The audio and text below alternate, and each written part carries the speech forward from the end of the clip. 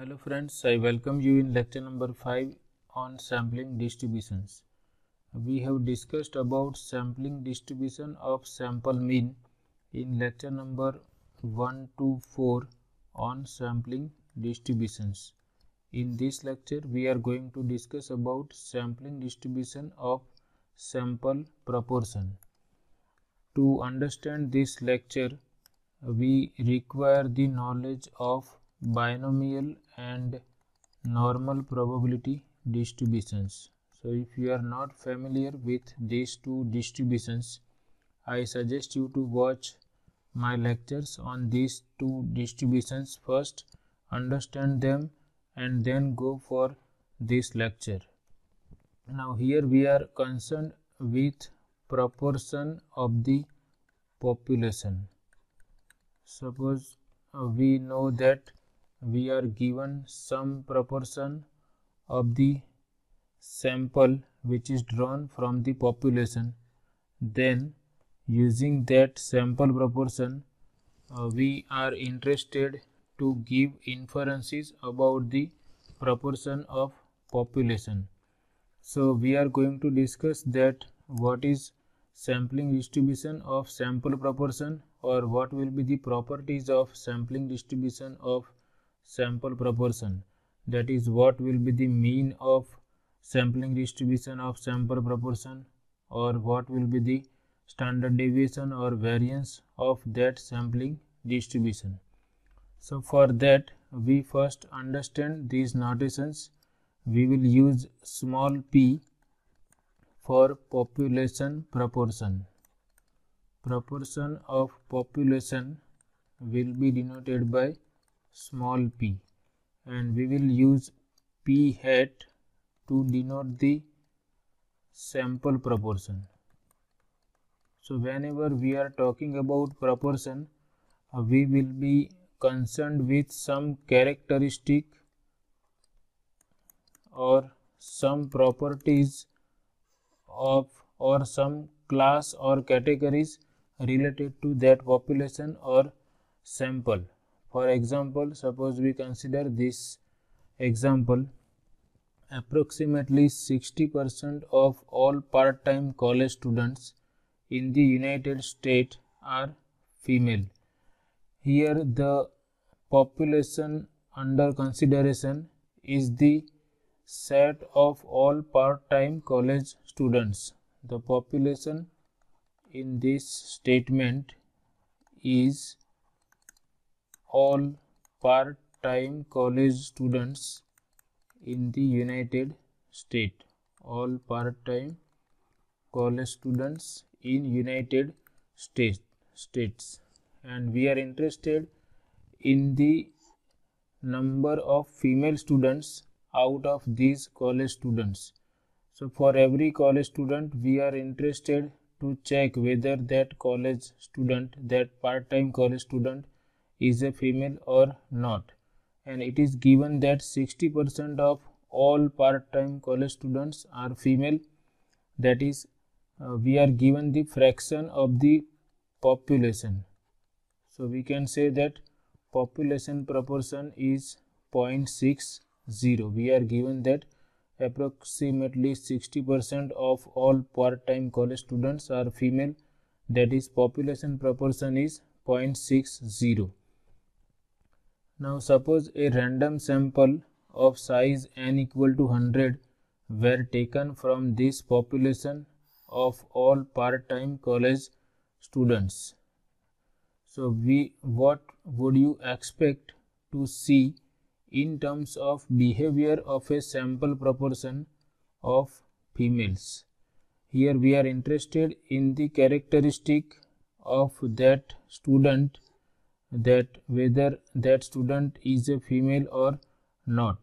And we are considering a sample of size 100 from the proportion from the population uh, which is having population proportion of female students as 0.60 and we are considering 100 part-time college students from that population now for each college student which we are selecting in a sample there are two possibilities. Either that part-time college student is a female or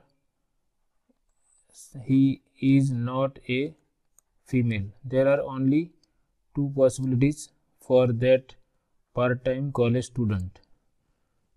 And here we are considering n equal to 100 and uh, we can say that uh, these n students are independent of each other. And uh, therefore this is the case of binomial experiment. We can consider that we are performing binomial experiment. We are checking that out of those 100 part-time college students whether each student is a female or not so if we consider capital X equal to number of part-time college students I will shortly write college students who are female in this sample. Suppose capital X is the number of female part-time college students. And uh, we know that if we are considering n equal to 100 then number of trials are finite. There are only two possibilities for each part-time college student whether student is a female or student is not a female. And we are given that probability of being female is 0.60 so if we consider success as that student is a female then probability of success which we denote by small p is given as 0.60 that is probability of success remains constant. So if you under if you have understood binomial distribution we can understand that this capital X is a binomial random variable capital X follows a binomial distribution with parameters n equal to 100 and probability of success as 0.60. Now we know that what are the mean and uh, standard deviation of binomial distribution. If we want to write down mean of binomial uh, distribution or binomial random variable then we know that expected value of binomial random variable is equal to number of trials into probability of success and standard deviation of binomial random variable is equal to if we use sigma for this capital X then it is given by square root of n times p times 1 minus p. So, these are the mean and standard deviation of this binomial random variable. Now we are not interested in the uh, random variable capital X. Our interest is to decide the sample proportion. Now because we have number of females are capital X in a sample of size n. We can say that sample proportion is equal to capital X by n. And one more thing for this x, x is a binomial random variable. And uh, we know that if number of trials are large and probability of success is small, then binomial distribution can be approximated by normal distribution. That also we have discussed. And we are considering this condition. If n times p is greater than 5 and n times 1 minus p is greater than 5 then we can approximate binomial distribution using normal distribution so if x this binomial random variable satisfies these two conditions then this x or binomial random variable can be approximated by normal random variable. Or we can say that x is a normal random variable with mean equal to n times p and variance equal to np times 1 minus p. So, we will remember this condition number of trials into probability of success is greater than 5 and number of trials into 1 minus probability of success is greater than 5. If these conditions are satisfied, then binomial approximation, binomial distribution can be approximated by normal distribution. So we can see that if we consider x equal to number of part-time college students who are female, then under those conditions x can be approximated by normal random variable. Now what is sample proportion? Sample proportion is nothing but capital X divided by n.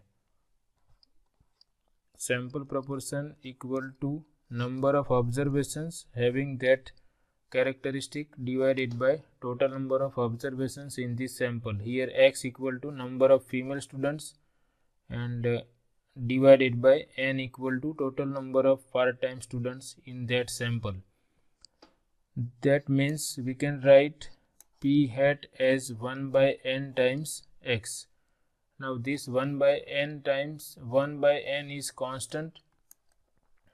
Therefore the distribution of x and the distribution of sample proportion are same.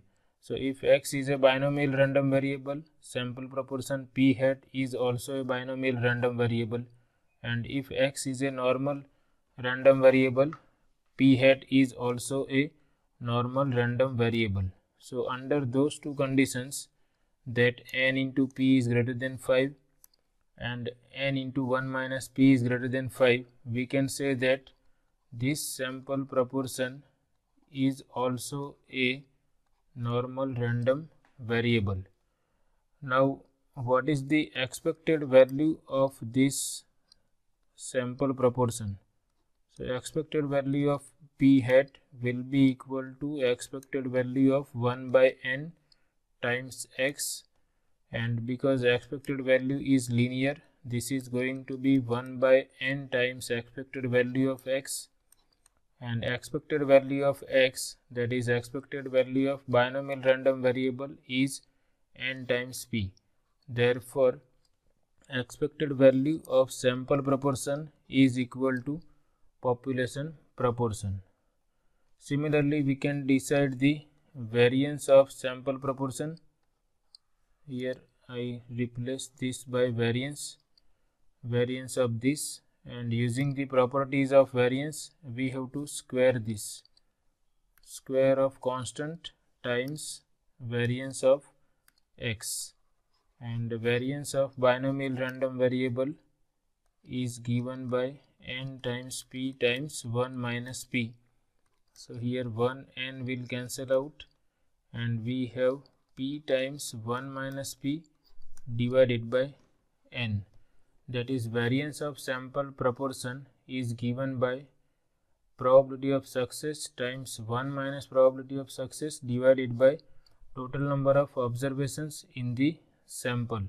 So what we have shown is if we have suppose we are given a population value of population proportion and suppose we have p hat which is sample proportion which is given by number of elements which uh, which belong to a particular class or number of elements having given characteristic divided by total number of observations in the sample of size n which is randomly selected from the given population.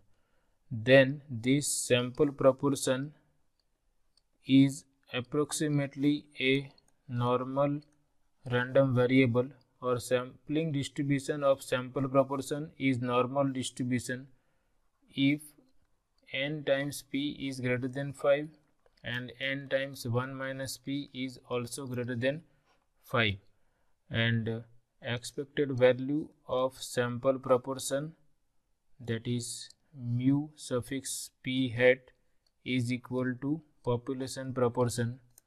And variance of sample proportion is given by p times 1 minus p divided by n where small p is nothing but population proportion. So we will remember this sampling distribution of sample proportion. Uh, we assume that we are given some population and we are interested in discussing some characteristic of that population and we are given the value of population proportion that is we are given the uh, fraction of the population which is having that characteristic. After that we are considering or we are drawing a sample of size n from that population and we know that the number of elements in that population having that characteristic is say capital X. Then we can decide the sample proportion by this formula p hat equal to x by n now this capital X which is the number of elements in the population having that characteristic is a binomial random variable and if we have these two conditions satisfied then that x can be approximated by normal distribution. Therefore, sample proportion also follows normal distribution if these two conditions are satisfied and mean of sample proportion or mean of sampling distribution of sample proportion is equal to value of population proportion and variance of sample proportion is given by p times 1 minus p divided by n. So remember these two formulas for the mean and variance of the sampling distribution of sample proportion and using these two formulas we can answer the questions related to probabilities having this proportion in the question. So this is all about sampling distribution of sample proportion. In the next lecture we will discuss one problem related to this sampling distribution of sample proportion. Thanks for